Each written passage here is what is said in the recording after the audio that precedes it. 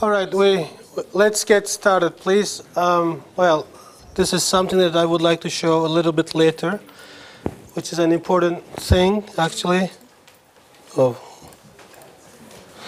Um, we were talking about the situation in Iraq, the war. I mean, that followed the invasion of Iraq. Uh, that was a short-lived war.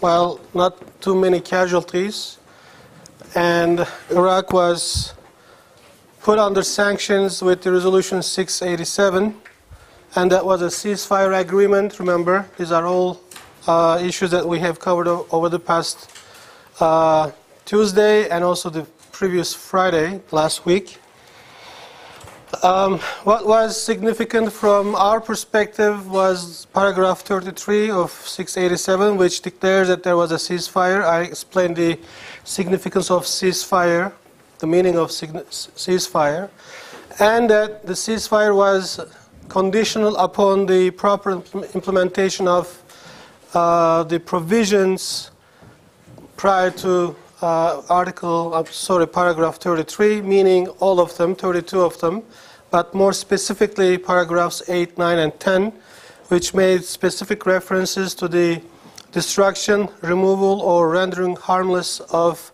chemical and biological weapons, uh, as well as material that are used in their production, and ballistic missiles uh, having ranges above 150 kilometers. And also, the nuclear infrastructure had to be destroyed or rendered harmless. this task was given to the IAEA, and I try to explain to you that IAEA did its job, completed the mandate without much difficulty. There were basically a couple of reasons. They were fast, and there were not that many nuclear uh, sites that they would have to deal with when compared to chemical and biological. And after all, it is very difficult to hide some nuclear material because they emit radiation, and also uh, to, to, hide nuclear facilities because they are usually big and most people uh, had prior knowledge about their whereabouts, I mean, as to where they were uh, located. So the IAEA also got uh, significant cooperation, and these were the years when the Iraqi authorities did not direct their feet, and they were cooperating with, with the International Atomic Energy Agency. So, but on that hand, remember, United Nations Special Commission, UNSCOM was created, and UNSCOM of course, uh, with cooperation getting uh, that they got from the Iraqi authorities, escort as well as uh, protection and specific information about the locations of facilities and the material and the weapons, as well as ballistic missiles. So for several years, they have done their job properly without much difficulty. But in due course, remember, uh, a number of inspectors, and more specifically, Scott Ritter is he himself uh, actually uh, maybe I don't know for what reason uh, declared that he received information intelligence from several sources and that was found to be unacceptable by the Iraqis. And Saddam Hussein first tried to uh, put, a, put an end uh, to these inspections in 96 and but he was confronted with the uh, U.S. Desert Fox operation, which persuaded, convinced uh, Saddam Hussein that he should continue uh, allowing the inspectors do their job. But finally, after a second round, he said, okay, I'm withdrawing the escorts, the, the people who protect as well as guide the inspectors. And he, when, once they are withdrawn, the United Nations Secretary General had no other choice but to withdraw them.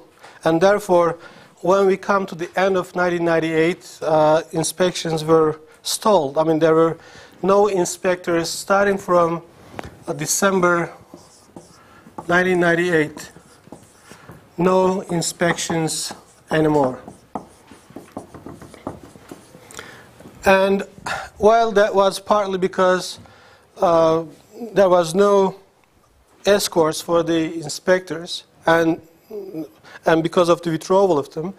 But the international community was pretty much concerned from, I mean, starting from um, April 1991. So there is this uh, almost four, uh, nine years. I mean, uh, sorry, uh, seven and a half years, so almost eight years of inspections. And as I said here last time, there were many people who lost their lives, especially women, children, because they couldn't uh, have access to food, medication, uh, things that were necessary for the survival of the large population who were under a lot of pressure anyway, even before the war, during the war, and after the war. So uh, during all these years, there were these inspections and hundreds of uh, kilograms or tons of some chemical materials uh, or weapons, ballistic missiles, a number of them, biological agents, large uh, stocks of them were destroyed or rendered harmless. So that was the period which uh, actually witnessed a significant operation of UNSCOM, and there were uh, maybe a couple of hundreds of people who were involved in the inspection processes. Uh, inspectors from uh, around the world have joined UNSCOM. But uh, one thing, there was not a single, if I'm not mistaken, and actually that this is something that I had confirmed with Rolf Ekéus, uh, who was the head of the UNSCOM at the beginning, um, this guy, but that's when we met just uh, last year in December uh, last year. But I had a prior meeting with him when he came to Monterey Institute, when, when I was a postdoctoral fellow at the Institute in California. And I asked him, indeed, kind of uh, asked him in a very uh, tough manner as to why UNSCOM didn't have any Turkish inspectors because that would be great opportunity for Turkish people, experts, to um, know first-hand information about the situation on the ground. He actually said, don't ask me, ask your Turkish authorities as to why they have not accepted sending one. Well, as far as I understand, there was some sort of a tacit understanding between the parties, uh, Turkey and the United States, maybe another, maybe the Iraqis at some point, uh, to not send Turkish inspectors to any of the UNSCOM missions. But it would have been great if Turkish inspectors were involved or were among the uh, UNSCOM inspectors who were going every place, every location to get intelligence about the uh, uh, Iraqis, weapons infrastructure, and other information. But um, according to Rolf Ekéus, I don't know whether Turkish authorities really got this offer and denied or declined to uh, send anyone. But that was what he said back in 96 or 97, I can't remember exactly when.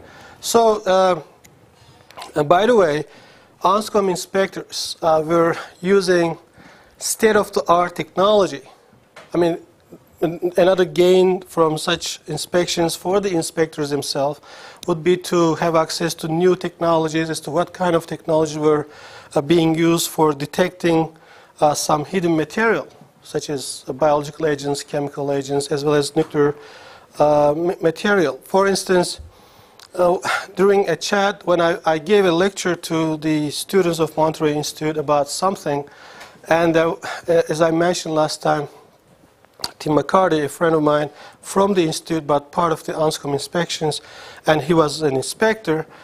And one guy asked, one of the students asked, well, we are selling weapons to the world and these weapons can be used to, against our soldiers in the future. So, um, I mean, is this fair? Why, why, are we doing this? Why are we selling to uh, a number of countries which in the future may become uh, you know, hostile to us?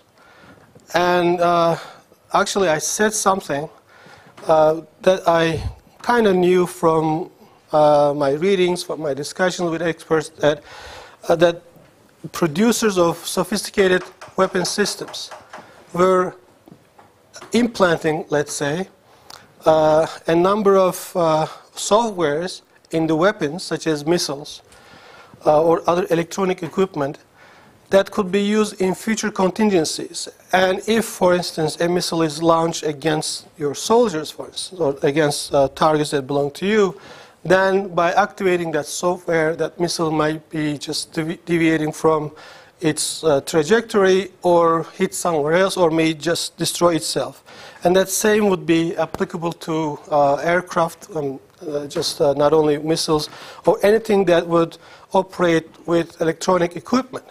So that was something that I had in kind of vague knowledge, not specifically uh, or not nothing much about the specifics, but at least uh, by using our, of course, logic and intellect and uh, bits of information, you can understand that weapons producers could do something like that. And that uh, inspector friend of mine uh, confirmed what I said and said, don't worry guys, in every single weapon system that we sell to the world, there are such uh, systems, there are such softwares that we can make them not usable against us uh, in the future. So therefore, it is very, very important to know what kind of technologies are being developed and what kind of uh, uh, weapon systems are being developed if, if you're uh, responsible for weapons acquisition. And uh, there was this discussion, this debate also in, in Turkey about uh, Turkey desiring to buy some weapon systems or, or develop or produce a new, new set of uh, F-16s, but uh, to uh, develop the software in Turkey uh, by Turkish uh, specialists because Turkey did not have much trust about the um, reliability of the software that could be that could make these F-16s, for instance, in the future unusable by giving this opportunity to the other side whomever that might be, to sort of uh, manipulate with the navigation system, interfere with it, etc. So another thing that I, again, uh, learned from uh, just a bit of information was that no matter what you do to crush uh, the, the computers physically, even if you just, uh, I don't know, burn it or just use any worst of, uh, worst of viruses and infect it and make it unusable for normal people like us. But there were some, uh, again, softwares that could uh, retrieve, that could get the information. Every single uh, information that were inserted to that document could be retrieved, could be recovered. So that's how, for instance, uh, information about uh, Iraqi biological weapons program uh, was somehow unearthed uh, from the hardwares uh, uh, or hard, hard drives of uh, some of the computers which were just put in, dumped somewhere in the in the uh, in the waste, and somehow they retrie retrieve they, they recover the information in their hard drives and use them as a proof of Iraqi weapons involvement or just involvement in biological weapons in the past. So that's how Iraq was put under pressure to sign the Biological Weapons uh, uh, Convention. So what I'm trying to say here is UNSCOM inspections have gained a lot of experience to the inspectors and thereby to their intelligence services and to their country. Almost every single inspector from X and Y countries, once they spent a term in Iraq, they were going back to their countries, they were being debriefed by their intelligence services, secret services, and then uh, put back to their job. So therefore, that, that would be a great opportunity for Turkish inspectors if they were sent to UNSCOM or UNMOVIC uh, in the future, uh, uh, if they could operate in Iraq with other inspectors. And not only that, you go to the field, get information from first hand, and, but also you discuss with other inspectors as to what they know. So I don't know why Turkey missed that opportunity. Well, or maybe we had a lot of confidence that we did not need that kind of in, intelligence or information. Anyway, so uh, then let's going back to the story here from uh, uh in December 98. As I said, one reason was that the withdrawal of escorts uh, left the UN Secretary General with no other option but to withdraw the inspectors. Without, if he did not withdraw them, uh, the, these people, then their lives would be in danger, and that would be unacceptable, of course. So, but again, uh, a year later, remember, UN Security Council Resolution 1284. You have all this uh, on websites, and that resolution, 17th of December, this resolution said, taking into consideration that for exactly one year, uh, there were no inspections in Iraq because uh, in December 98, the last inspectors uh, have left the country. And in January 99, Richard Butler presented uh, his report to the, yes, the one in the middle here, and uh, he presented his report to the UN Security Council, which was adopted unanimously. And that report, well, long one, as I mentioned, uh, maybe not directly, specifically, but hinted at the possibility of some chemical weapons and biological agents maybe remaining uh, in the Iraqi territory because he could not ensure that all of the weapons were somehow destroyed, removed, or rendered harmless because, I mean, they were not getting enough cooperation from the Iraqi authorities. So, considering the situation in Iraq, that there were no inspections, and after inspectors having left the territory, the UN Security Council Resolution 687 mandate was not yet fulfilled. Oops. Uh, 687, the mandate was not fulfilled. I mean, the, the inspectors could not present a report to the UN Security Council saying that we have done our job, we have finished the task, there is not a single gram of chemical agent that could be weaponized or not, not even a weapon, or no biological agents, no missiles, so we can go home. There was no such a report. On the contrary, the report submitted by Richard Butler, presented to the UN Security Council, suggested that some material, or weapons, or uh, material that could be weaponized might have remained there. So, with this psyche, and time having passed already, uh, the United Nations Security Council had to, you know, take some decisions in order to pursue its own decisions, prior decisions like 687. But that year was significant because, if I'm not mistaken, it was uh, in March or April, NATO summit took place in Washington, D.C., and the, the heads of states of uh, NATO allies had to adopt a strategic concept document that would shed light uh, to the future implementation of some of the NATO strategies and, you know, force deployments and, and contingency plans. So that was, uh, again, January, uh, uh March or April 99. There was also this Kosovo operation by NATO. Therefore, the world's attention was shifted from Iraq to the Balkans. But yet again, toward the end of the year 1999, United Nations Security Council had to take a decision which, after all, was 1284. And remember, with this decision, suggested to Saddam Hussein uh, to allow the new inspectors, United Nations Monitoring Verification Commission, Inspection Commission, and saying that UNSCOM was abolished because of its corruption, etc., etc., and that a new body of inspections, inspectors was created, and that if and when inspectors resumed, I mean, started again, then the United Nations would uh, suspend uh, the bulk of sanctions, major uh, items in these sanctions that were imposed upon Iraq, uh, they would suspend them uh, and that they would allow Iraqi to buy some foods, medication, and other stuff that they would need, uh, so long as UNMOVIC operated on the field. UNMOVIC, of course, uh, again, was, would still be a body of inspectors, but never had a chance to go there in all these years until November 2002. That was after the September 11 attacks, when, of course, the world just was shocked with what happened on that day attacks on uh, Twin Towers of World Trade Center and the Pentagon, etc. And, of course, first Afghanistan, but then eventually United States turns, turned its face to Iraq. And I was kind of expecting this because there was this 687 ceasefire resolution.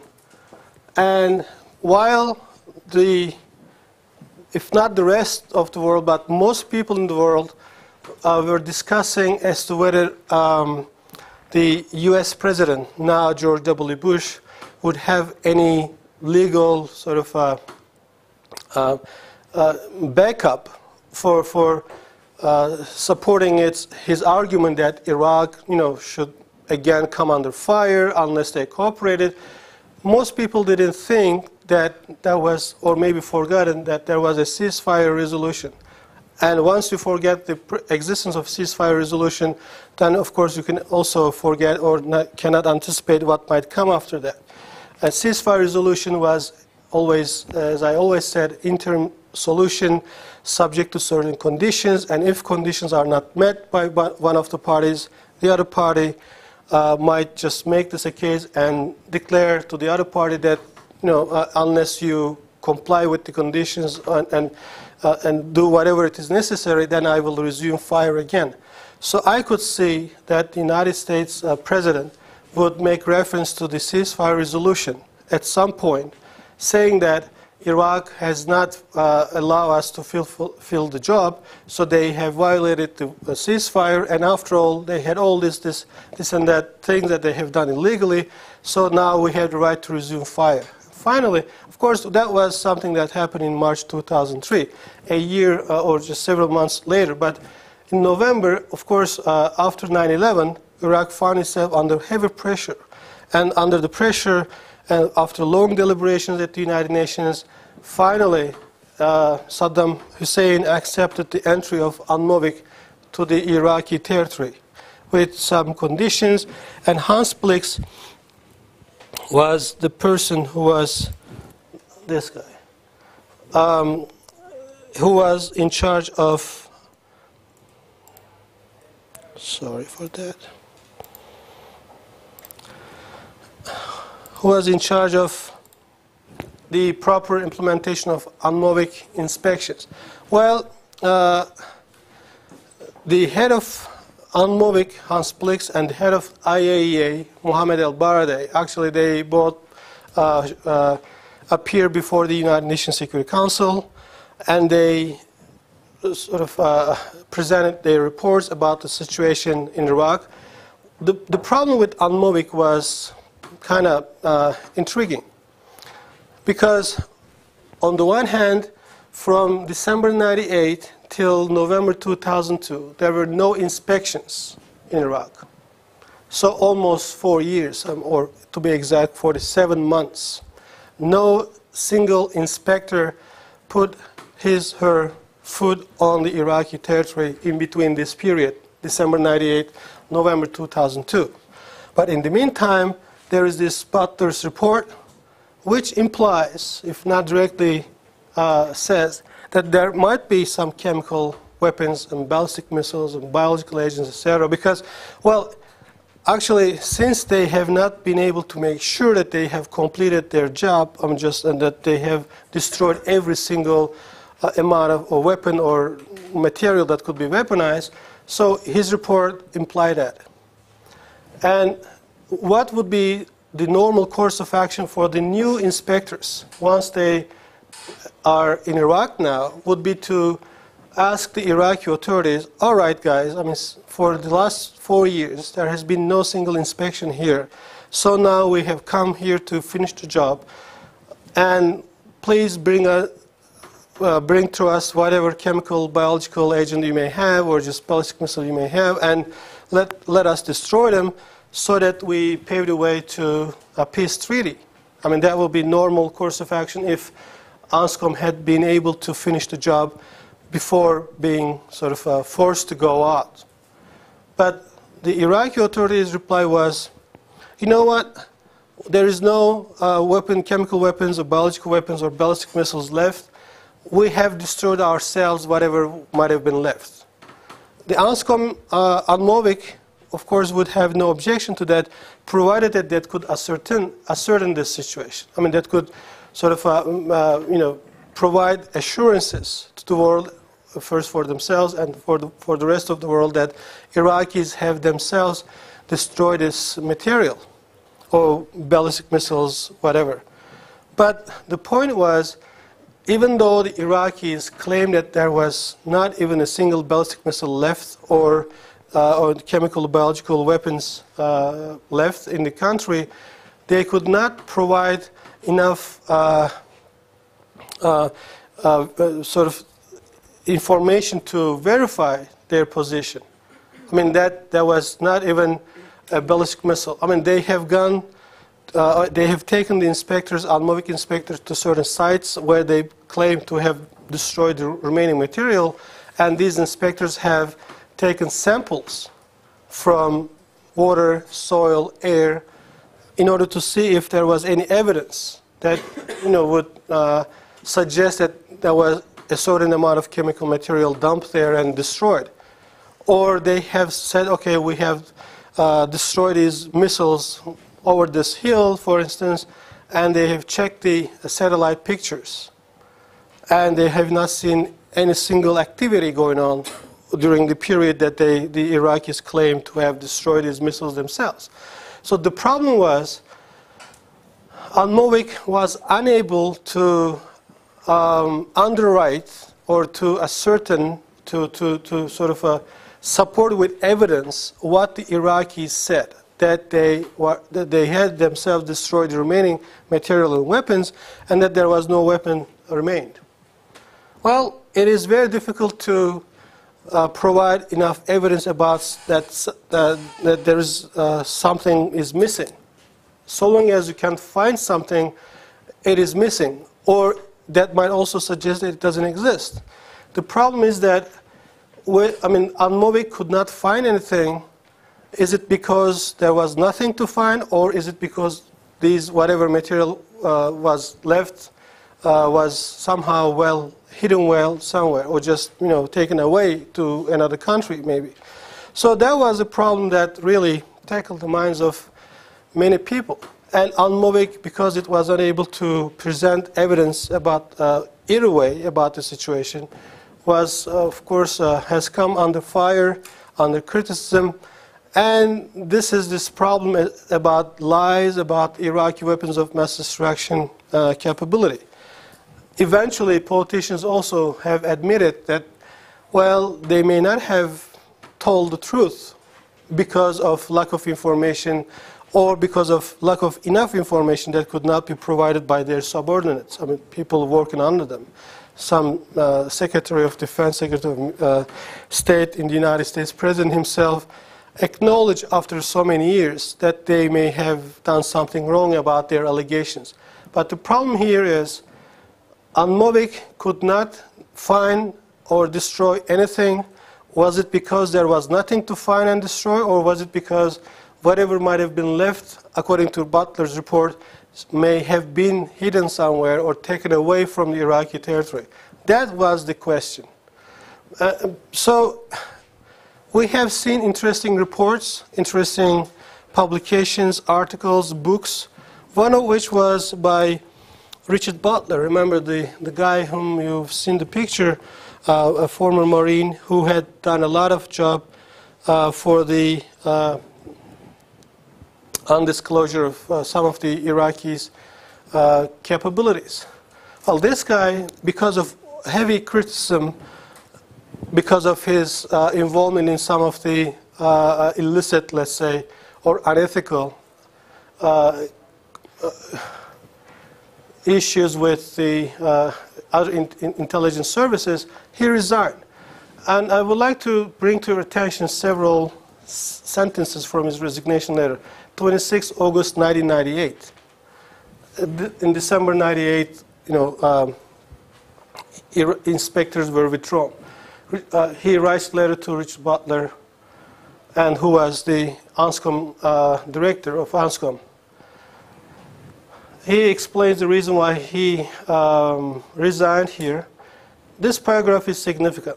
It says, the special commission was created for the purpose of disarming Iraq. As part of the Special Commission theme, I have worked to achieve a simple end the removal, destruction, or rendering harmless of Iraq's proscribed weapons. The sad truth is that Iraq today, in August 98, Iraq today is not disarmed anywhere near the level required by Security Council resolutions. As you know, UNSCOM has good reason to believe that there are significant numbers of proscribed weapons and related components and the means to manufacture such weapons unaccounted for in Iraq today. So the, the leading inspector, the most you know, or heroic figure among the inspectors, who has done a great deal in unearthing Iraq's clandestine capabilities. Because of this controversy, because of this row between himself and uh, those who you know, criticize him, he resignate, resignated. He quit in August 98. And he says Iraq is not even close to disarming. There are still significant amount of weapons, material, whatever, in August 98, which was followed by the withdrawal of a few months later of the inspectors. And from that point onward to November 2002, no inspections, no inspectors. So this Scott Ritter, who writes and who was the sort of first and foremost person to be able to report from the field about the true situation, in his resignation letter says Iraq still has weapons, a lot of them. And until November 2002, for, uh, 48 or so months, no inspections, and once Anscomic, UNMOVIC, sorry, uh, goes to Iraq, Iraqis say, well, we don't have weapons. Well, whatever might have been left, we may have destroyed. Here, what, where we dumped the chemical weapons, well, no, uh, no trace, no evidence. Here, where we have destroyed ballistic missiles, no evidence. So UNMOVIC was unable to uh, support the Iraqis' claim that they had destroyed these weapons themselves. But on the, on the other hand, UNMOVIC could not find anything. Well, sometimes you may not find anything provided that they are very well hidden. So unless there's something to find, if, if taken away or very well hidden somewhere, you cannot find it. So by the way, UNMOVIC, its mandate was not to find certain thing, but was to verify that Iraqis, if they have done so, destroy themselves. In, United Nations Monitoring, Verification, Inspection Commission could not uh, uh, sort of verify, could not support that Iraqis have done this themselves. And there's this resignation letter saying that Iraq still has weapons. And after that letter, the inspectors were withdrawn, never come back until uh, 48 months later. And once they come back, there is no weapons around. Does this mean that Iraq never had these weapons anymore. That was the problem. Of course, everybody made different types of claims, uh, but what was the most striking was Scott Ritter, who wrote this resignation letter, who said in his letter that there was still, it was not disarmed, that there was still a significant amount of weapons. He said, all was lie. Iraq never had such weapons and we lied to the world. And he published books, might have made several millions of dollars so far. Well, good for him. But he confused the minds of many people. That is actually something that is not understandable, at least uh, from my perspective, because uh, a heroic figure like the, him, someone who helped with the uh, inspections, which uh, were carried out under very difficult conditions, and he was quite significant in finding many of the uh, caches, many of the hidden material. But later on, and having written such a resignation letter, says, well, uh, actually, Iraq had never had such weapons.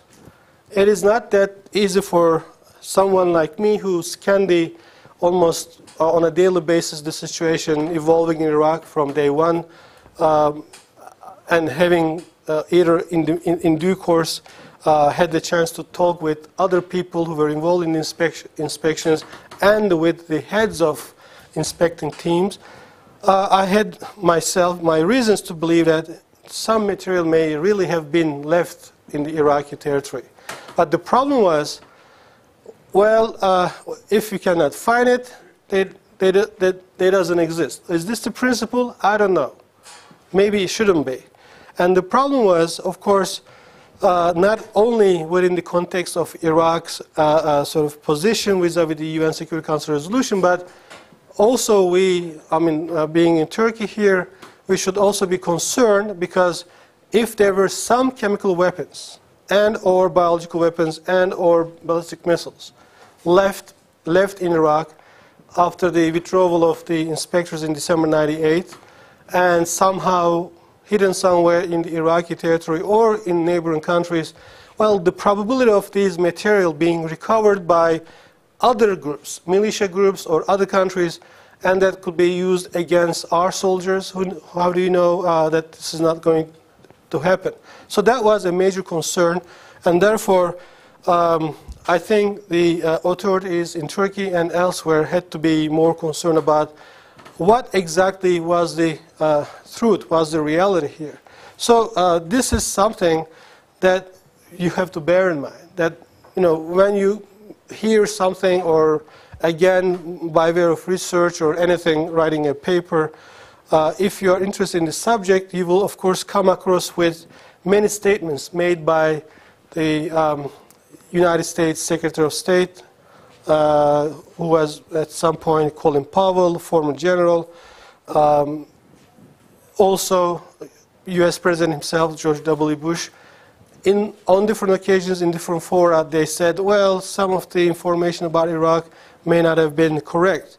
So you cannot fool the minds of people by just manipulating the information like this. And there are certain, if not evidence, because uh, some people, with respect to Scott Ritter's uh, resignation letter, when I said, look, he says that today all was lie and that there is no such weapon and that he sort of uh, took on the U.S. Uh, government, U.S. administration, Bush administration for uh, creating the, uh, the ground, or preparing the ground for an attack on Iraq. But on the other hand, he has this resignation letter in which he admits that there are still weapons. And some people said, well, he was under a different psyche, he was under different psychological, you know, pressure and etc. Therefore, his re resignation letter may not make sense. I don't know. I mean, this is not such an uh, uh, easy or simple thing, but I tend to believe what Scott Ritter has written in his resignation letter was true. And if that was true, because he was the person who was in a position to see things from uh, the very first hand on the ground, and if that was true, where have these weapons gone? Well, some weapons, especially chemical weapons, uh, may lose their significance in due course over, over a certain period of time, like I mean, six, seven, eight, ten, whatever years, they may, they may become useless. They don't, you don't have to sort of uh, uh, destroy them even because you know, th th their composition may somehow be uh, affected by time and corrosion or the you know, climatic conditions, unless they kept under certain pressure and temperature, they may become useless after a while. That's fine, but still material in these weapons may have some toxic effects. Or how do you know? Maybe they, they, their uh, uh, life cycle might be longer than many people might expect. The problem here is if that letter represented the truth, as well as this report, uh, I mean, letter in August 98 and report in January 99, both of which, one of which explicitly states that there are still weapons, and the other one implies that there might be weapons, and the United Nations Security Council uh, uh, sort of uh, adopts this report of Butler unanimously. And then there is this uh, time passing, UNMOVIC going to Iraq, and no weapons are found and people say, well, there was no weapon at all. This is not that easy, and a, a much more uh, uh, significant research must have been carried out, and at least uh, maybe Turkey must have pressurized on something to happen because this is something that can directly affect the uh, security of our people as well as our security forces. After all, because this is a country just nearby, and there, are, there is still not um, uh, the state of uh, stable political conditions do not still exist in Iraq. And this being the situation, we should be concerned about militia groups or other groups in Iraq having access to the you know, places where these weapons may still have been uh, stored, even if their military use may have somehow be badly affected because of the conditions where they, they were kept and time which has passed so far. So this is something that I just uh, wanted to emphasize here today, that um, uh, you have to be quite, um, I don't know, on alert positions uh, when, such things happen, and you have to be part of it. Had Turkey sent a number of inspectors to this pool of inspectors, primarily on, on uh. I heard something like, you know, Turkey would have sent uh, a few inspectors to UNMOVIC, but even if Turkey did so, UNMOVIC could not operate, could not, you know, gather large, large amount of uh, in, intelligence from the field. But for so many years, for approximately eight years, UNSCOM inspectors have collected large piles of intelligence reports for their own country's intelligence services, many of them. Some of them I know were pure scientists and declined to be de debriefed once they sent back uh, or once they uh, returned back to their homes. Some scientists said, uh, with uh, some of whom I had conversations, who said they did not accept to be debriefed by their intelligence services because they did not find this ethical. Well, that's, uh, that's an, an, an, approach. But after all, that would be a huge service to the country if Turkey had sent inspectors to UNSCOM, which was unfortunately not the case, but not because of UNSCOM, who did not accept. No, they, there was no offer. Actually, they offered Turkey to send inspectors, but Turkey declined. And that is something that one has to uh, think about. All right, um, we'll continue on Tuesday. There will be class on Tuesday and the coming uh, Friday. So, no, on Friday next week, no class because it's 29th of October, the Republic Day. But on Tuesday, 26th, we'll be here and I'll see you on Tuesday. Thank you for coming.